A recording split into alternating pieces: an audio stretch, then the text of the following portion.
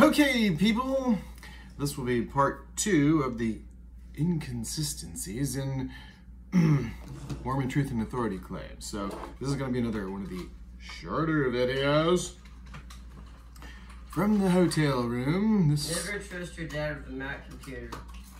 okay. What my daughter is referring to is well, I look. When you, when you when, when you donate to the Dodger Dave channel, this is the kind of stuff you're actually doing. You're donating to my HGA boost, my fat burning, my adrenal system, more testosterone. I ran out for a while and COVID hit and like 95% of my road rage in LA traffic delivering Postmates disappeared. Just saying. I wasted hours and hours and hours of my time This, this shit I don't even know. Just for you to destroy it. Yeah, this is for your It's brain. a lot of sauce, Good stuff. you. You don't put liquids next to electronics. So what she's talking about here is the fault Hello? of Trader Joe's. No, it's the fault of you. This shit went into my computer motherboard via the keyboard. in the first place. Hello? I just wanted a taco before I started Dad. before I started a video, and This that video never came out. All right. Anyway, yeah. Seriously, that's why I didn't let you have There, the there went one. a Mac that Dodger Girl got me in Salt Lake City from some used. And used now it's done. electronics dude. Anyway, yeah. Yeah, the electronics dude. I mean, you fried the motherboard. Electronics dude. Okay, anyway. Here's my Beverly Hills MD shit. Cheap shit I got from, yeah, I don't know, 99 cent store. Parts. Sale, Make something out of it. sale items. Oh, sale items at Sprouts. We're gonna get into it, really. We're gonna get into it, and what we're gonna sale items at Sprouts. That cost me my windshield because I bought this crystal when I was buying all this boutique deodorant, The damn like eighty crystal percent off. didn't need to be in the. Dad, you're. Okay, so all right, let hold on. I gotta I gotta make this video now. So we're gonna put all this stuff away. I just uh, get it out here, all kinds of other stuff, and that's how. You need a risk management manager at all times. And it's not gonna be me. Audience I forgive her. This is what happens when you raise your kids in the Mormon church and they all get stressed out and shit. Okay, so items that items in That's Mormon Mormon church, not mom. Oh please, I believe that was your choice. actually I wound up with her because I ditched my previous girlfriend because of the Spencer Kimball doctrine that you should uh, some- some Mormon dump people that you're banging before you're married, right here. unless you marry him right then. And I was Reality truth. like 18. Okay, here we go. So, the previous video, I went ahead and and and um, you know mentioned several items that are inconsistent with Mormon truth and authority claims that an all-knowing, unchanging God, who- who's supposedly a good guy. Please stop me. I I got I gotta see. I don't want to piss people off here. Um, guides the Mormon You don't, want, prophets. you don't want to piss people off. I don't want them to feel that this is You don't want to piss people off, Dad. Yeah. Have you not seen your posts? Can we stop, please? So, what I'm going to talk about today will be some items that eh, that I have previously discussed in longer videos that actually drew my attention to the fact that there was something rotten in Denmark regarding the LDS church history, scriptures, theology, etc. So, basically, I got into the church when I was 15. We started investigating the church when I was like 14. And that was preceded by me having, hmm, well, various experiences, one, uh, some spiritual experiences that were scary. So I started reading That the led him to have his daughters right behind him. so I started reading in the New Testament and all that sort of thing. My friend's my friend's dad was a Methodist preacher. I'd been going to their church a little bit, and I told him he couldn't baptize me. I was polite. I didn't tell him why, but I just didn't feel like he had authority from some divine source because I hung out at their house and saw what kind of shit went down.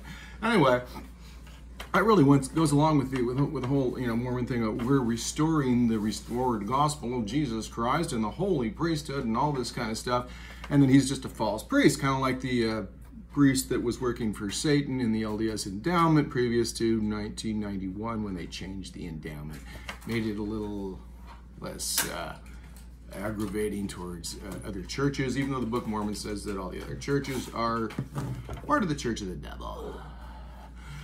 Anyway, yeah. So we wound up having these missionary lessons because my mom went to a, a Mormon open house from her friend who was in The John Birch Society. And that's where it all really starts here. because I was learning about, you know, basically the uh, manifest destiny doctrine that America was built by God. I mean, he, he, he helped the, the colonists escape the nasty redcoats and uh, inspired George Washington. In fact, even perhaps Moroni came and talked with George on the banks of the Delaware or somewhere, some fucking place, right? All right, so it, it, it, not, not winter quarters, that's LDS stuff. Anyway, wherever that place was, where they were cold as heck, right? LDS people, please note the effort to not drop an F bomb there because I know you've been programmed to believe that the word indicating the acronym fornication under consent of the king, which is the only kind of sex that the Mormon Church approves of, it still made it into a bad word because the Christians did and they need to copy the Christians. Fuck, I can't find a fire water. Parenting, it's such a bitch. Okay, so it's never ending. Things that bothered me. I noticed that, well, it took a while because so the Book of Mormon really takes this manifest destiny doctrine and says, okay, great, you're right, God blessed the colonists and unfortunately his wrath was upon the Lamanites. And this is where it gets really convoluted. The Lamanites are the Book of Mormon people that came over from Israel on like the Ra expedition boat and well, some of them got naughty, so God's, God said, black magic, poof, you're a darky. Yeah, so anyway, that made these people um, repulsive to the Nephites, uh, according to the Book of Mormon, because it's written basically it is a 19th century uh, cheesy novel, and it's indicating the beliefs uh, of the you know general population at that time. So if you if you have dark skin, you're you're Is that where you only sticks? No, no. you're you're you're just uh, you're you're yeah. So you're you're undesirable, and so God did this to to to make sure that the good people didn't mix with the people who weren't worshiping Him properly and fulfilling His you know biblical narcissistic you know bullshit, right? Where he like kill you if you cook dinner for your kids and avoided a little botulism in the days of Moses, but they made a group activity out of murdering you because you should have been like going, you know, worshiping his lame ass, right? But that's pretty, yeah. All, all, all this racism actually stems from from from the Jewish religion. What we find in the Old Testament, God says, "Kill the Midianites, kill the Ammonites, kill anybody who's not worshiping me," right? Because he's a narcissist and a misogynist and a racist and a fucking psychopath. And I'm not a psychopath. I just need another beer. Fortunately, I've got another beer. But I've also got coffee to put the edge back on after I take it off. Not only do I have that, I can hardly wait. but this is healthy shit. I've got this is this is vegetable based protein chocolate, and I put some Trader Joe's instant coffee in it, and then I put in some collagen and whatever, right?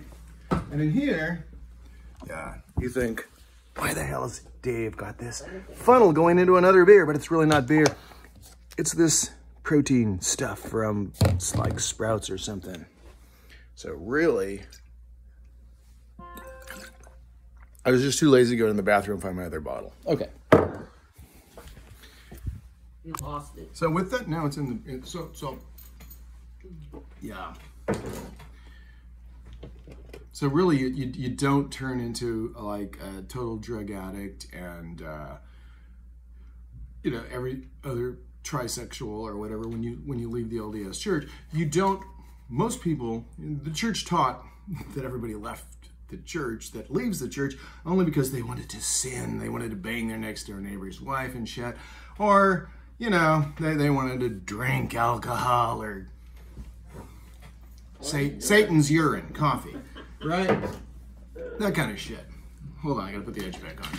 So, um, You're not making your voice very good. there we go. What bothered me was I began to realize that the, you know, I spilled the other shit on this computer. Let's let's be smart and put this over there. On the other computer. Okay. I begin to notice that through my historical studies, I was finding that some of the things in the Book of Mormon specifically were inconsistent uh, with what I was finding.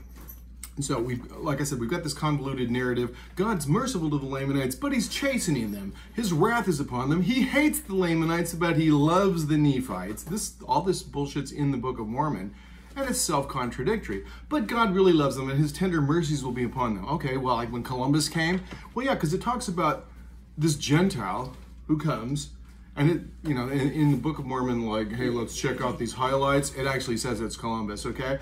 And that God sent him over here. So basically, that the gospel could come to the Nephites, or to, excuse me, to the Lamanites. Um, so we wipe out like 90% of these people who never heard of Jesus fucking Christ anyway, right? But that's mercy upon the 10% and fuck the rest of these people.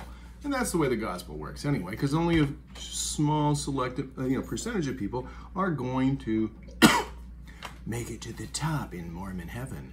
Uh, but uh, you know, I, I, did notice that you know, the Mormon thing was better than the Christian thing because instead of everybody going to hell that doesn't ever hear about Jesus and never even had a fucking chance, well, now the Mormon missionaries uh, in you know, who die, the, the more all the Mormon men turn in that are worthy turn into priesthood missionaries in the spirit world, treat, talk to people in spirit prison and hell and wherever the fuck they are, right? And they go, oh, I never heard of Jesus, but oh, I still want to be a member of your fucking church, even if I was gay and all this shit, right? So even though the Old Testament said to kill these people, we don't give a shit. Everything changes in the spirit world. You've got a new chance. And Mormons get to baptize you in the temples and all that kind of shit. Keep going back and back as long as they pay their tithing and uh, say don't bang anybody. They're not licensed to bang by the government oh. or uh, drink Satan's urine or even a mild drink of barley, which is actually recommended in the Mormon Words of Wisdom. It's just that the interpretation changed during Prohibition. Oh, they were kissing ass to the government. Where'd that shit come from? Okay, hold on one more sweet. So I started noticing that there were some inconsistencies, you know, I mean, like, God, God's pretty much a dick to these people, you know, and, uh, you know, Columbus's guys, I mean, they're butchers, right? Fucking butchers. Uh, that's, that's not, that's not merciful. That, that, that's kind of fucked up.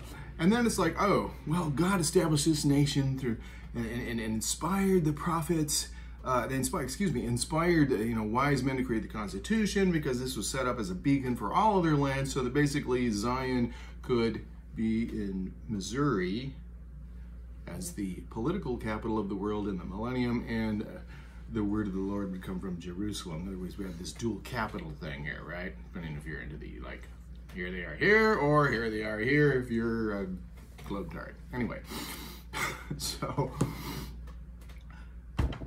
when I really got into, you know, I read the, the treaty at Versailles and stuff and noticed, you know, these guys, Ben Franklin, those boys, they wouldn't have signed this shit the way they did if America won the war, if the colonists won the war, like we're told. I'm like, wait, so you just signed us into like uh, financial servitude to British banks after winning a war? What is up with that shit, right? You, and then you read, who are these other guys from Britain who, you know, go over to represent the king, representing? Well, George, King George, who is what? The Prince of the Holy Roman Empire. And that's where we kind of take things back another step. So when you really study it, you find out America is just another British colony, which is uh, basically a Roman colony. And you don't have any property rights. You never own property. That's why it's called real estate, not real property that you own in allodium. Why is that? Because it's held in estate. Why is that? Because you never own it. That's why. If you look at a deed, I'm not talking about just a mortgage. I'm, talking about a deed. You're a tenant. You're a tenant. Woo! What's up with that shit, right? I was, I was a real estate professional. You know, and I'm like, okay, a lot of these things just don't add up. They don't add up at all. America is not an independent nation. It isn't. We don't own property. Okay? And there are multiple problems with this whole scenario. Why don't find, we have accents? It's messed up. When you find out when you find out that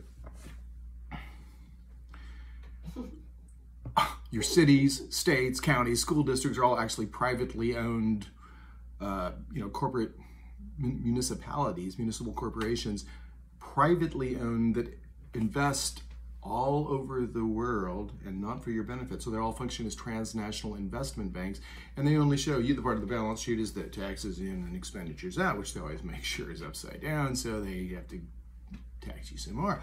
But they own, you know, collectively, like what up? in 2009, estimations were that 185,000 of these municipal corporations in the United States owned, you know, investments worldwide of maybe 110 trillion dollars.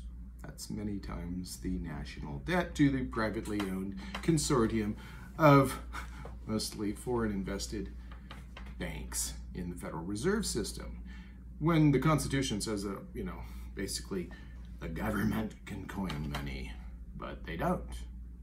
Instead, they've got these uh, European backed interests in a bank that they pay interest to.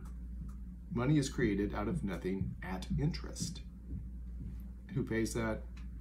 The people who are called taxpayers. We didn't have we, we, we, we we didn't have an income tax until 1916. Why is that? Because you don't need one. That's why, and it's basically unconstitutional. This was the first speech I gave in speech class in ninth grade, as a matter of fact. I took my little Liberty Amendment book and uh, discussed, you know, the ins and outs of, of, how, of how that works. But there was a need to collect some money at that point to what?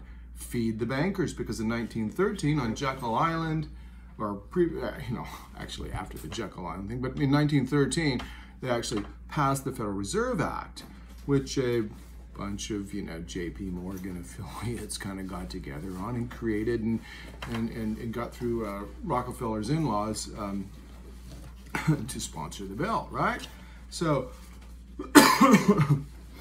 That's that's how you got that shit started. It enslaved the people. Actually, 20 years later, from the 1913, we had 1933 when the United States was completely bankrupted. The United States Company, formerly the Virginia Company.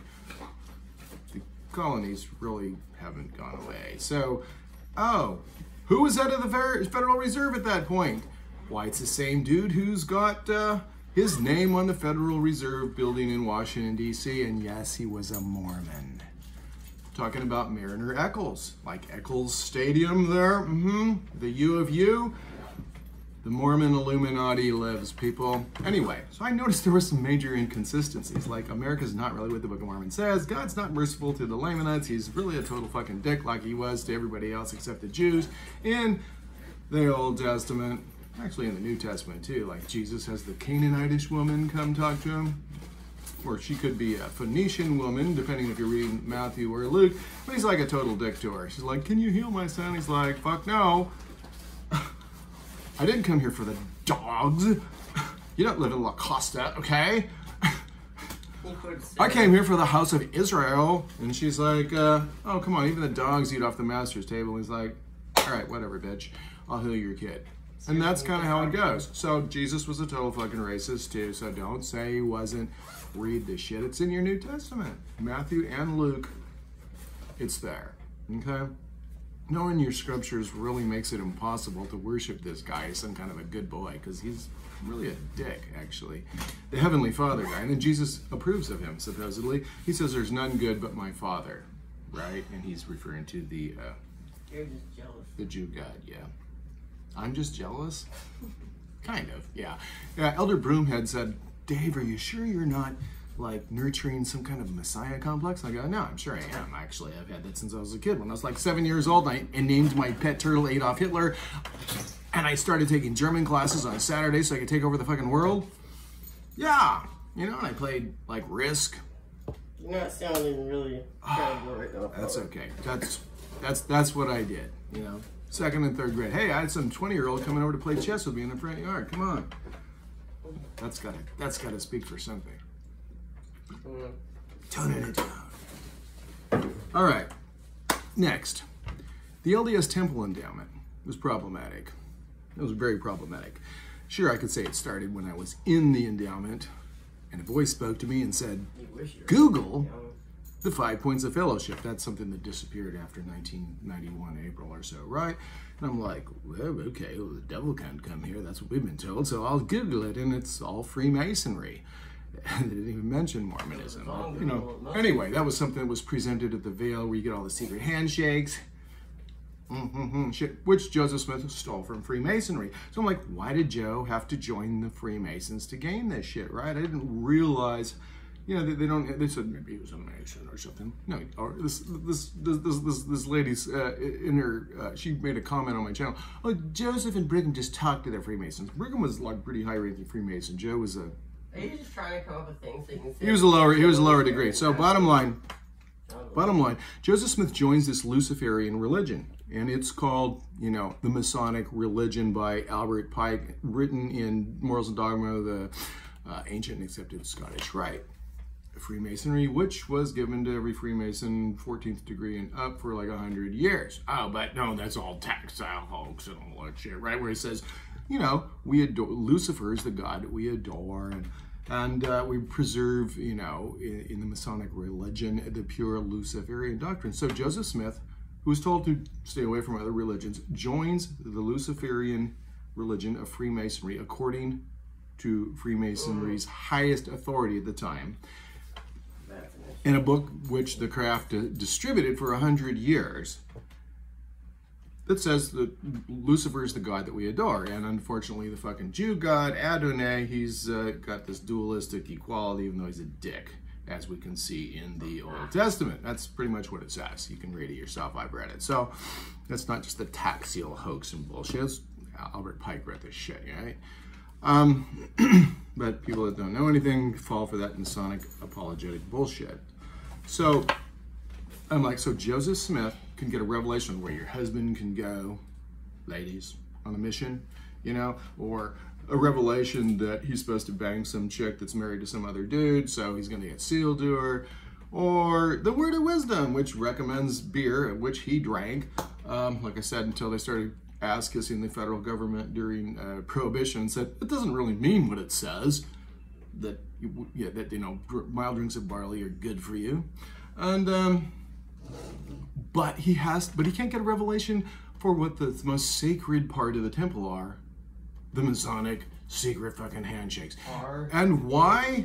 Why are they the most sacred? Oh. Well, because they gotta be secret. They gotta be sacred secrets. Why? Because they were making like covenants to like slit their throats, rip out their hearts, have their tongues ripped out, their bowels, all this kind of shit.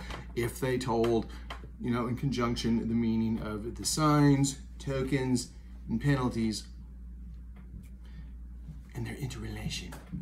Like Captain Morgan did. You like drink Captain Morgan? Well, Joseph Smith was banging his widow. She was a widow because the Masons killed his ass because he wrote a book uh, revealing some shit like that. Okay?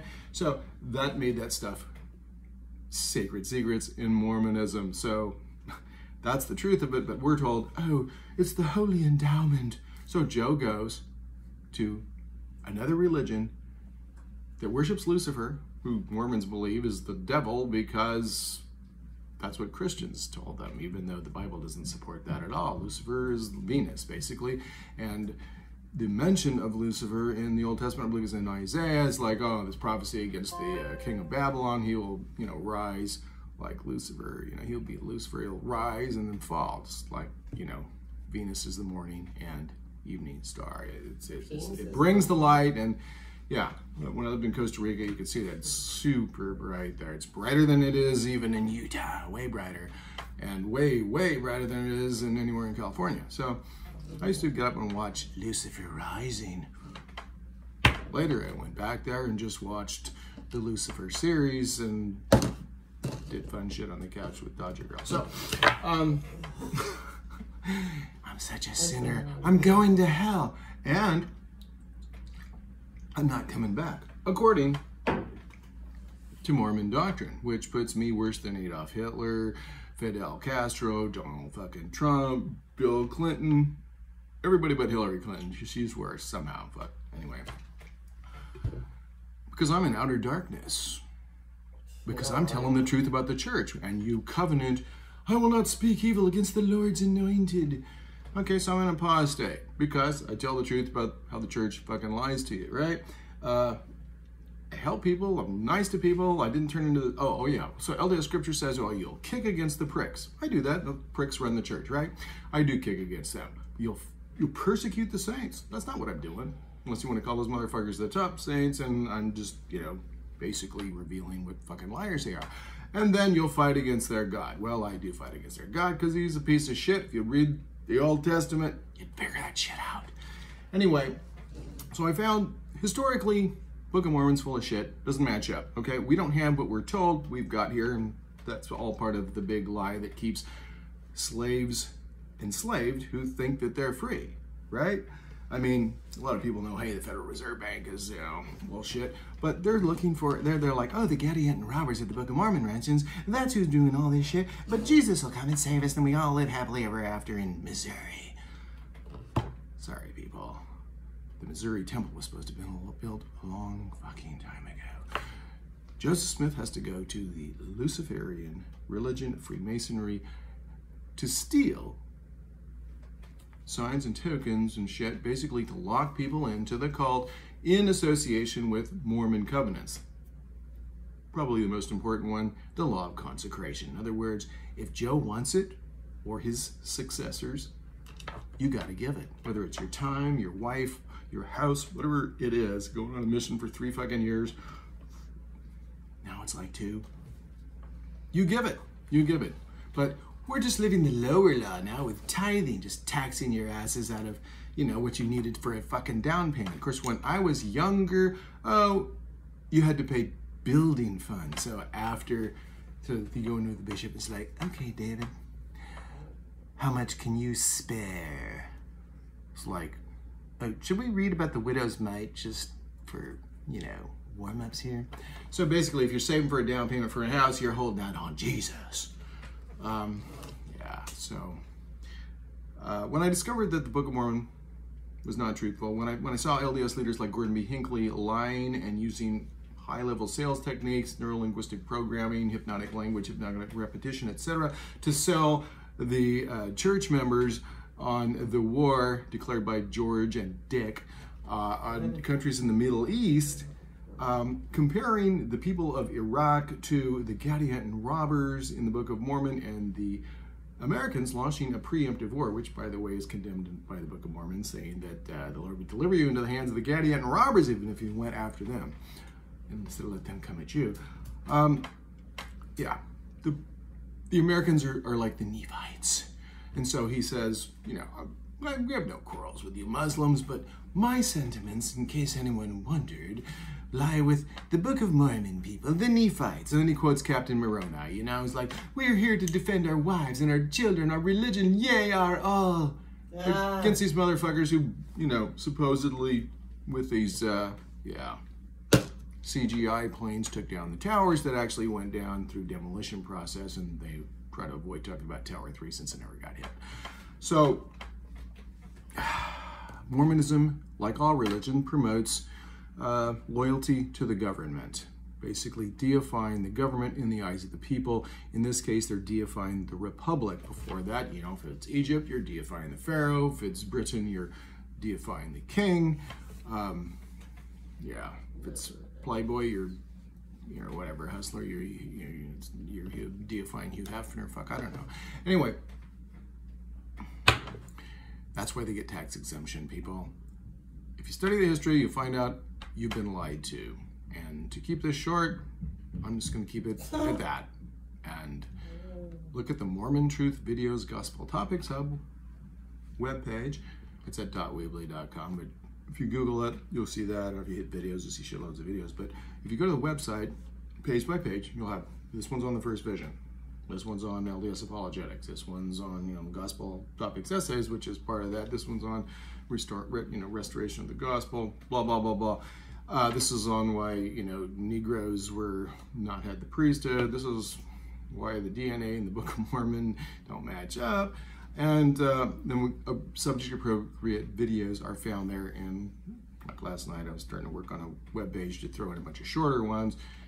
For those of you whose attention span is not adequate because you've been watching Facebook too much. Anyway, um, we're. Uh, okay, I'm out. And put the edge back on. You can see that I'm putting the edge back on. Thanks for all your support.